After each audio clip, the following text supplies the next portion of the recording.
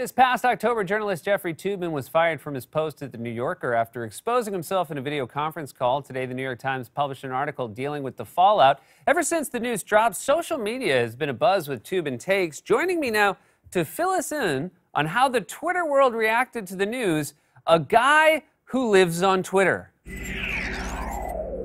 Uh, okay, so Jeffrey Toobin pulled out his junk on a Zoom call in October and the New Yorker didn't fire him immediately? Weird flex, but okay. Everybody involved needs to take many seats, period.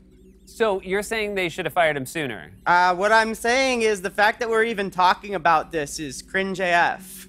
Next thing you know, Toobin's gonna go on Joe Rogan and start simping for QAnon. This is literally 2020 in a nutshell.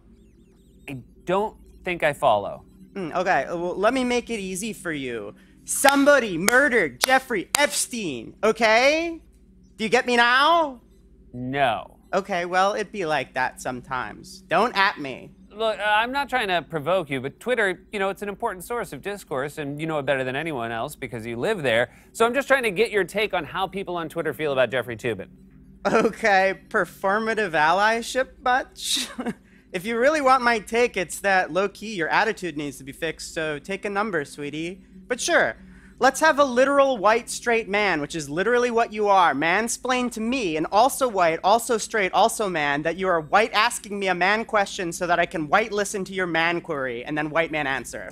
That's literally you right now. That's literally not what I said. It literally is. I literally have no clue what you're talking about. Okay, Seth, you're gaslighting me and you're straw manning me. And if you gaslight my straw man, my straw man's gonna catch on fire, and then I'm gonna become 100% that bitch. I didn't mean to offend you. I'm seriously trying to have a dialogue. Okay, well, this ain't it, Chief. World's most toxic take goes to Seth Meyers. Wow. I, I haven't even offered a take. Uh, and that's your problem, Seth. You're a dumb person's idea of a smart person and I'm a smart person's idea of a dumb person. And Jeffrey Toobin is a normal person's idea of a masturbating on camera person. Any questions? Yes, I have tons of questions because I have no idea what you're saying. Well, I have no idea what you're saying. all right. Uh, well, what I'm saying is save your crypto fascist pearl clutching for the blue checks and tell me what the hell Twitter is saying about Jeffrey Toobin, period.